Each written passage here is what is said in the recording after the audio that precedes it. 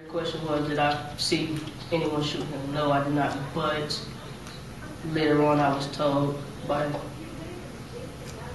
my brother that he was the one that did it.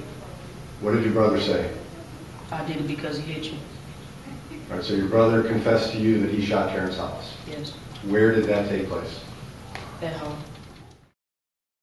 like right here, he walked around and came up under him and shot him up in the torso area. They dropped him and they fled the scene. And then after the gunshot, what did Mr. Hollis do? Um, they dropped Mr. Hollis. Mr. Hollis hit the ground. He balled up. He was on the ground balled up. Right where he was shot. Yes.